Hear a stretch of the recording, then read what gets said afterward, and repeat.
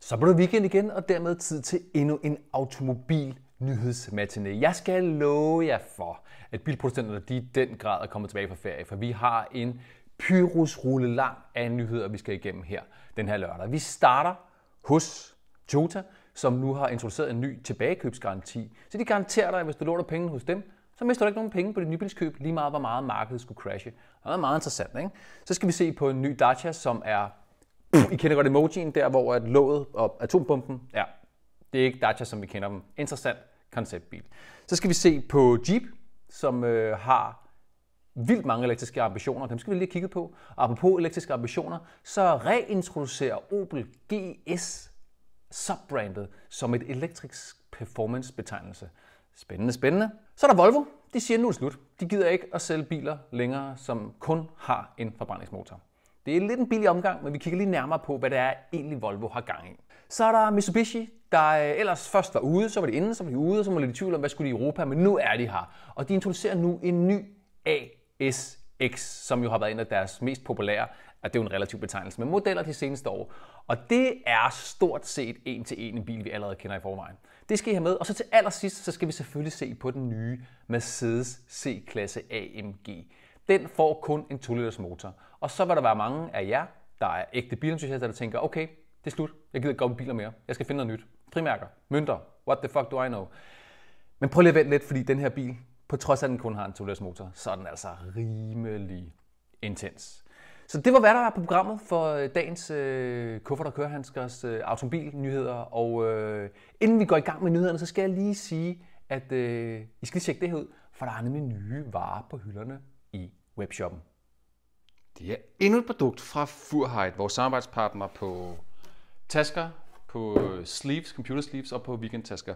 Og øh, man får dem altid i den her lækre taske. Enjoy, enjoy.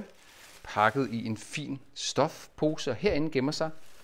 Det er St. Croix tasken, som vi har i forvejen. Men denne her er i sort, blankt læder med lysstevende og de her fede, fede røde kontrastsyninger. Den er fra Enzo-serien, og det er i virkeligheden hyldest til Ferraris grundlægger Enzo Ferrari. At uh, Fur har lavet den her serie, men altså arbejdstaske her, masser af rum til kort, kuglepinden og andre småting, lynlåsrum. Stort rum her, her til en uh, laptop op til 15 tommer. Det her det er remmen, så du lige klikker på her. Sådan er skulderborgen. Her selvfølgelig også sådan en, så du lige kan køre den over din trolley, og et ekstra rum herinde. Meget, meget, meget, meget, meget, meget lækker taske, som nu er til salg på Kuffert Kørenskers website til 2500. Ind og tjek den ud. Får den selvfølgelig i den her lækre, lækre indpakning fra Furhide. Vi starter hos Toyota. De fornemmer en vis usikkerhed og manglende tillid til den økonomiske fremtid, fordi at Putin er i gang med det ene, og inflationen og gaspriser osv. osv. Derfor introducerer de nu en garanteret tilbagekøbspris på din nye bil. Hvis du går ind i en Toyota-forhandler, køber en bil, finansierer den hos dem med et minimum af 20% i udbetaling, og øh, sørger for at få den serviceret øh, også hos et Toyota-værksted, så lover de dig, at efter 5 år, så vil de køb bilen tilbage, lige meget hvad der er sket med markedet, til det, du skylder i den. Lad os komme med et eksempel. Hvis du går ind og køber en Toyota Igox, eller Igo X, som den rigtig hedder, men Bertel han synes, den skal hedde Igox, så kalder vi den lidt for sjov her på Kuffert Kørehandsker. Så, øh, så kan du give øh, 144.000 for en 145.000 kroner for en med aktiv udstyr. Så får du den finansieret igennem Toyotas finansieringsselskab, Toyota Finans med 20% i udbetaling, og efter 5 år så vil restgælden være på lige omkring 55.000 kroner afhængig af renteudviklingen. Og har vil Toyota så garantere, at du får minimum 52.000 kroner tilbage for bilen, så er du 100% sikker på at komme ud af dit bilejerskab uden at skylde noget. Men den skal selvfølgelig som sagt serviceres, den skal ikke køre mere end 15.000 km om året, øhm, og så skal den finansieres gennem Toyota Finans. Det lyder meget godt, og især hvis vi kigger på, og det gælder alle modeller af Toyotas modelprogram, jeg synes særligt det er interessant, hvis vi kigger på en model som for eksempel Toyota RAV4 plug-in hybrid, som jeg i øh, Kuffert automobilopbog her har kåret til årets, hvad var det den for en pris den fik? Den er årets SUV, straight up. Den er nemlig rigtig, rigtig interessant, særligt i plug-in hybrid udgaven. Men der er nogen, der tænker, åh, den med plug-in hvordan ser det ud om fem år, hvis elbilerne bare går amok? Er der nogen, der overhovedet vil eje en el, øh, plug-in hybrid? Men med den her ordning, så kan du sådan set købe en plug-in hybrid, uden at risikere at stå med et produkt, du kan komme af med om fem år. For det lover Toyota at købe tilbage. Vi har nogle gange været lidt hårde ved Dacia her på Kufferkørensk. Det skal jeg indrømme, da vi testede Dacia Spring, var vi mildest talt uimponeret, men det er også en sharpet bil. Men Dacia, de er ikke typen, der bare giver op. Øh, tværtimod, de er ambitiøse, og de vil alle mulige vilde ting. Tjek den her. Det er deres seneste konceptbil, Manifesto. Den er altså pff, crazy at se på. Øh, og ret fed, og så er den totalt innovativ. Den her bil den er bygget i genanvendt plastik og kork. Wow. Den har forlygter, som du kan klikke af og bruge som lommelygter. Sædebetrækket er i virkeligheden også soveposer. På den måde viser den her bil på alle mulige måder, at Dacia er klar til at tænke ud af boksen.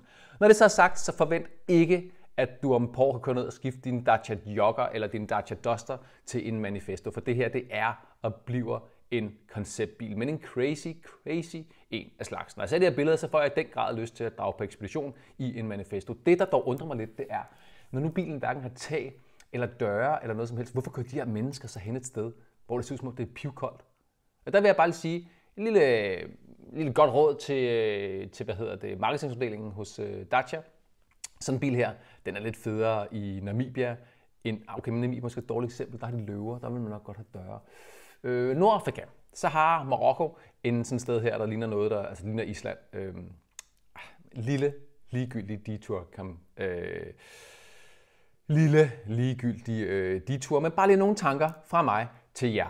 Bilen ser dog meget crazy ud, og jeg synes faktisk, det er fedt, at Dacia er et mærke, som ikke lader sig begrænse af konventioner. Og den her øh, konceptbil viser også, at, at det er et mærke, som gerne vil fokusere på outdoor-liv.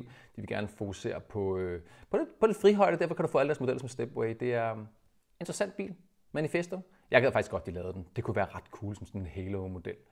Lidt sådan noget halvt ATV, halvt bil. Jeg tror, det vil være et marked. Siger det bare.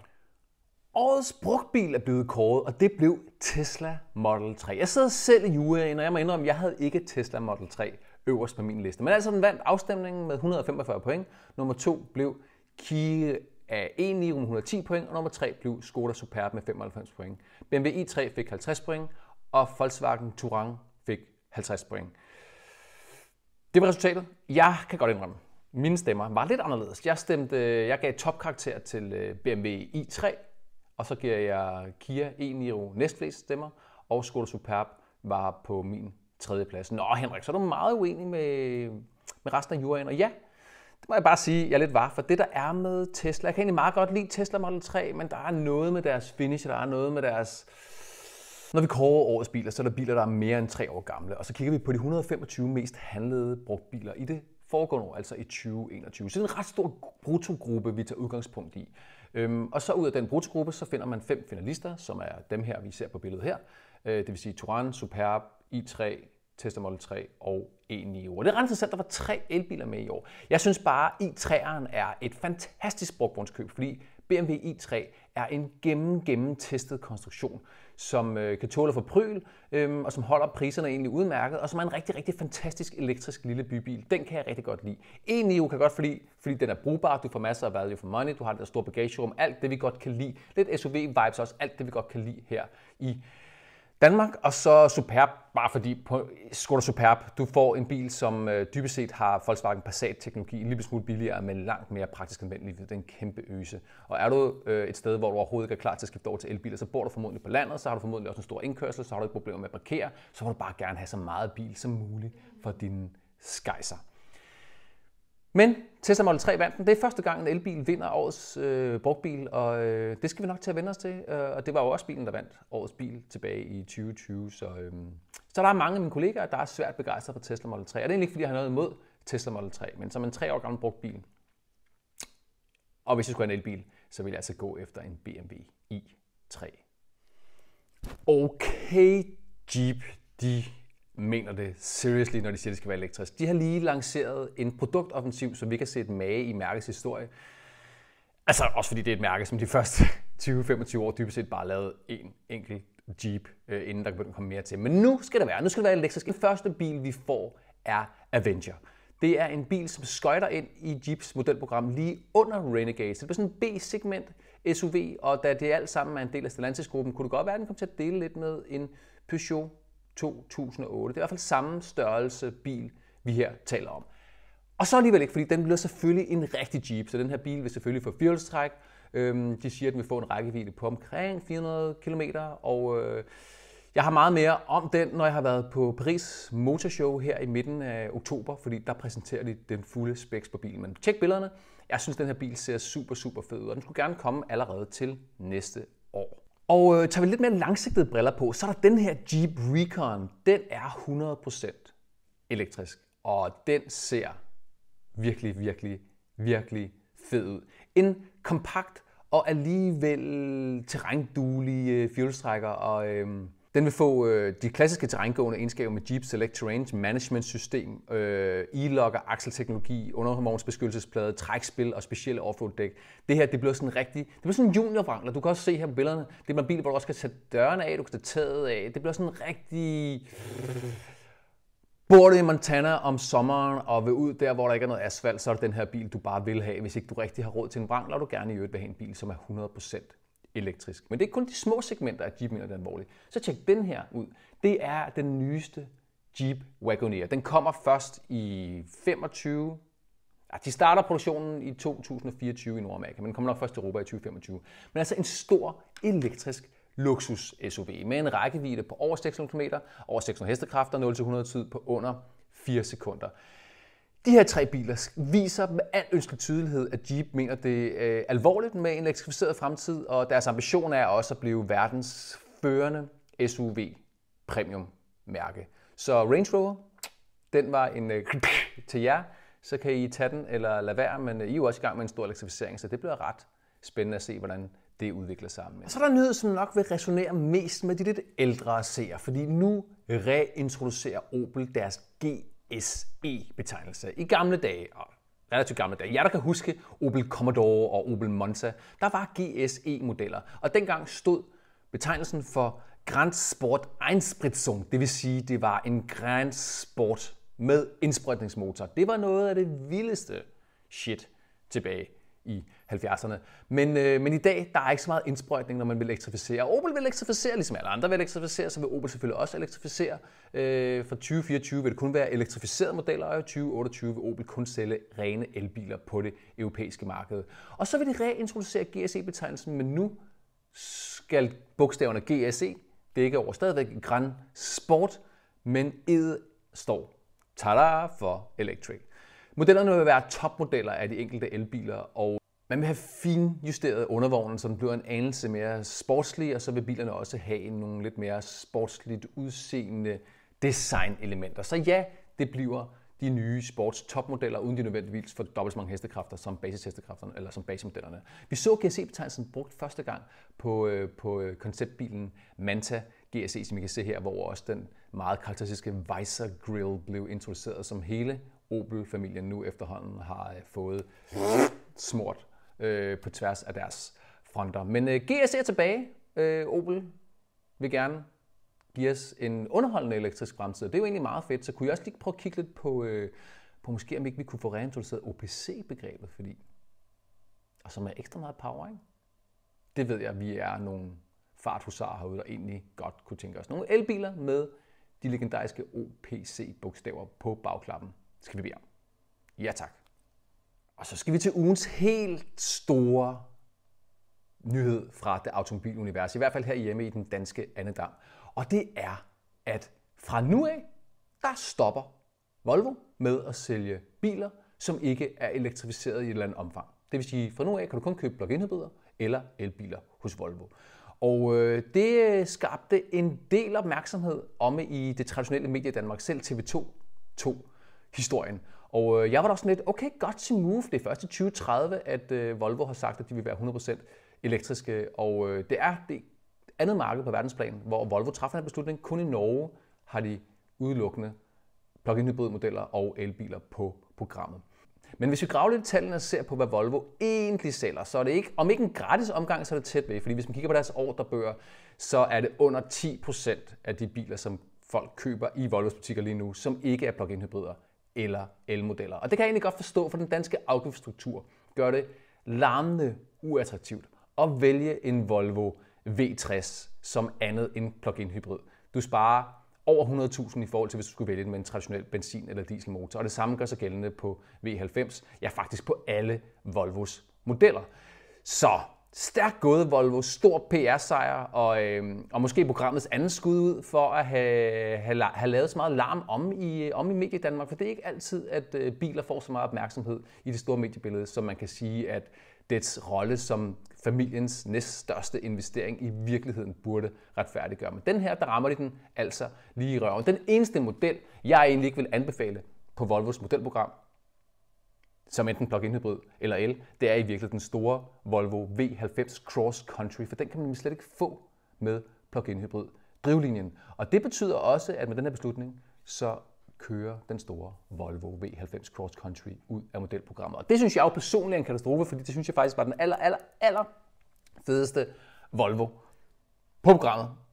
Hvis jeg skal være helt ærlig, jeg kan godt lide den som den der kombination af stationcar, lidt SUV med frihøjden osv. Men, øh, men Volvo har ikke kunne få lavet den bil således, at man har haft plads til plug-in hybrid drivlinjen, samtidig med at den har været lidt hævet. Så øh, farvel V90 Cross Country. Øh, men altså, jeg tror, at øh, hos Volvo er det bare business as usual. De fortsætter med at sælge stort set udelukkende plug-in hybrider og elbiler, for der har ikke rigtig været efterspørgsel på deres diesel- og benzinbiler de seneste år, fordi de har været uforholdsmæssigt meget dyrere end de andre, grundet det danske afgiftssystem. Efter Mitsubishi fortrød, at de havde trukket sig, eller havde planer om at trække sig fra Europa, så har det ligesom vendt på tallerkenerne. Nu, nu mener de det alvorligt. Nu vil de til at sparke røv her i Europa. Og det gør de først og fremmest med en ny ASX, der afløser deres hidtidige topseller, kan man godt sælge, som er 12 over 380.000 her i Europa, nemlig den gamle ASX. Og bilen er ifølge Mitsubishi udviklet sammen med Nissan og Renault, og den er baseret på Nissan Renault Mitsubishi Alliancen CMF-B-platform. Og ja, jeg skal love for, at den er baseret på den platform, fordi hvis vi lige skal være helt hudløst ærlige, og det skal vi her hos Kuffert Kørensker, så er det her en Renault Captur, der har fået smæsket en ny front på, et Mitsubishi-logo på bagklappen og et Mitsubishi-logo på rattet. Ellers så er den straight up en til en en Renault Captur tyre. Og det er der egentlig ikke noget vejen med, for det er en rigtig, rigtig, rigtig fin B-segment SUV. Jeg troede egentlig bare, at tiden var løbet lidt fra det der batch engineering, hvor du dybest set bare skifter logoet. Jeg har jo lavet en interessant video om de biler, som egentlig er ens. Tjek den herunder. Øh, en, en, en guide-video, hvor du ser, at der er mange biler, der er ens. Men for eksempel hos Volkswagen-gruppen, der er en Seat Leon og en Skoda Octavia og en Volkswagen Golf jo tæt på at være de samme biler, altså nedenunder. Men overbygningen, design og kabiner osv., der kan man godt se det her. De har vidt forskellige udtryk. Det har man ikke lige lejlet sig med i, øh, i Renault Nissan Mitsubishi Alliancen med den nye ASX. Øh, den kommer med en 1 øh, liters benzinmotor, en 1,5 mil hybrid og en 1,6 liters baseret plug-in hybrid. Og lur mig, om ikke det bliver plug-in hybriden, der bliver mest interessant. Hvis du gerne vil have data på de drivlinjer, så kan du besøge Renault.dk, fordi tæt på en til en ved at tro, at alt fra accelerationstider til hvor meget bilerne må trække og hvor store bagagerummerne er, er stort set identisk. Men det er ikke første gang, vi ser batch engineering i automobilindustrien, og det vil formodentlig heller ikke være sidste gang. Og hvis det her kan skabe lidt uh, trafik ude i de, uh, hos de lidt udsultede danske Mitsubishi-forhandlere, jamen så er de afsted. Bilen kommer i 2023, og i slutningen af 2023 forventer vi, 2023 forventer vi en ny Mitsubishi Colt, og den skulle gerne have et langt mere selvstændigt udtryk, på trods af, at den også vil dele en del teknologi med Nissan Micra og Renault Clio. Det her, mine damer og herrer, det er den nye Mercedes AMG C63S. Og med 680 hestekræfter og 1020 Nm bliver det den vildeste og kraftigste C-klasse AMG nogensinde. Den her bil, den lover jeg for, bliver fuldstændig insane. 0-100, både stationcaren i sedanen bliver klaret på 3,4 sekunder. Den har selvfølgelig fjolstræk, Formatic, og den får også drift mode, så du kan lave brænder og køre rigtig, rigtig bredt i den til dem af jer, der er til det. Men det er virkelig lidt den store nyhed med den. Selvfølgelig er den ny AMG-udgave af C-klassen kraftigere end nogen anden AMG-udgave af C-klassen før den. Nej, den store nyhed er, at motoren det er en 4 2 liters benzinmotor. What? Really? Ja, really. Det er slut. Det er slut med V8-motor. Øh, folk græd, da den store 6,2 liters V8 øh, uden turbo øh, blev sendt på pension og erstattet af en 4 liters V8 med turbo, øh, og nu er den 4 liters V8 blevet erstattet af en 2 liters 4 motor. Det vil sige, at motoren, benzinmotoren, er dybest set blevet halveret.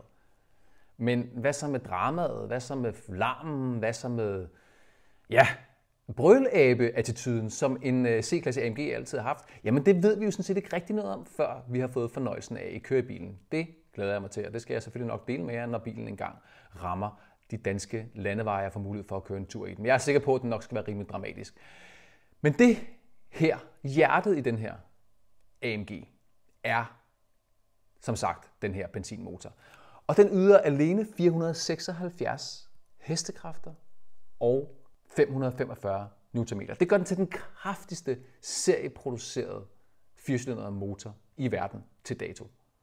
Wow, den er vild. Og den ligger selvfølgelig på langs, som AMG-motor altid gør, og der er et lille logo på, så man kan se, hvem der har bygget den, som AMG-motor altid har.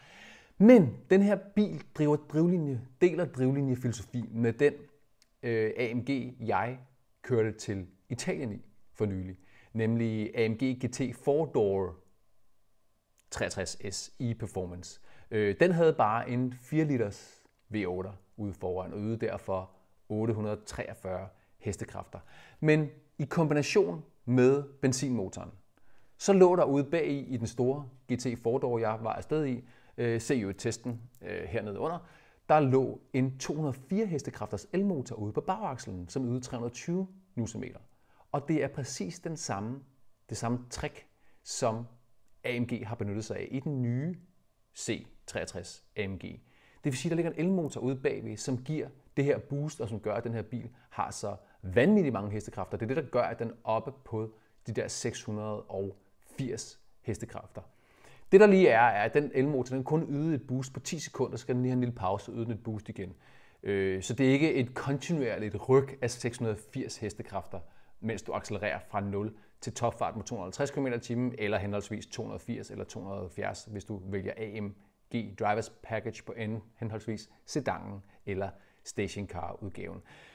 Jeg er sikker på, at den her bil bliver crazy. Den har også en masse Formel 1-teknologi. For at få den 2 liters 4 motor til at yde 476 hestekræfter, så har man blandt andet sat en elektrisk motor øh, i turboen, sådan så at den allerede har omdrejninger, inden udstødningsgassen kommer ud og sætter turbomøllen til at dreje rundt, så du ikke får noget lag, og du ikke får noget som helst. Og det er en teknologisk landevinding. Jeg kan se her på billederne dog, at Mercedes har haft en lille bit smule udfordring med at få plads til al teknologien, når det lader til, at den der klods, som jeg har døbt våbenskabet, for det er sådan våbenskab, øh, er tilbage i bagagerummet på Mercedes C-klasse plug-in hybrid. Fordi ja, det er jo en plug-in hybrid faktisk. Den har et batteri på 6,1 kWh, som driver den her 204 hestekræfters øh, motor. Og den kan du lade, og så kan du køre 12-13 km formodentlig WLTP. Så den her øh, plug-in hybrid er ikke lavet for at redde verden. Nej, det er egentlig bare en, en gimmick, er måske stærkt at sige, men den her elmotor og det batteri her er der udelukkende for at oppe bilens performance. Det vejer 89 kilo, den pakke, og det er egentlig ikke slemt. Så jeg tror ikke, den her bliver ikke lige så tung som den store AMG GT 4-door, jeg kørte til Monza i. Så jeg tror faktisk, at du vil få lidt mere køreglæde på de små veje. Øh, og selvom du så ikke har 843 hestekræfter, men kun 680 hestekræfter, så er jeg sikker på, at den nok skal blive særdeles underholdende og intens. Men, øh, men crazy nok, at AMG vinker farvel til V8'eren. Men, øh, men dejligt nok, at der stadigvæk vil ligge en håndbygget forbrændingsmotor ude under forklappen på den nye Mercedes C-klasse AMG C63. En af de biler, jeg nok glæder mig allermest til at teste herinde for det næste års tid, når vi får fingrene i den. Det var alt, hvad jeg havde på programmet i denne her uge, men husk at følge med i løbet af ugen indtil næste lørdag, hvor der selvfølgelig kommer en ny røvfuld automobil nyheder. Vi har blandt andet øh, Rot med Frost, Christian Frost er tilbage, og han er ude at køre i en elbil, som han faktisk er svært begejstret for. Ja, der skal I se mere på tirsdag. Øhm, og hvad har vi mere på programmet? Jo, øh, jeg kommer også med en øh, guide, der viser, hvis du overvejer en elbil, om du skal vælge en SUV eller en personbils elbil. For der er ret stor forskel på, om du vælger det ene og det andet, og der er også en større forskel, end hvis du vælger det bare med en bil med forbrændingsmotor. Så ting, du skal være opmærksom på.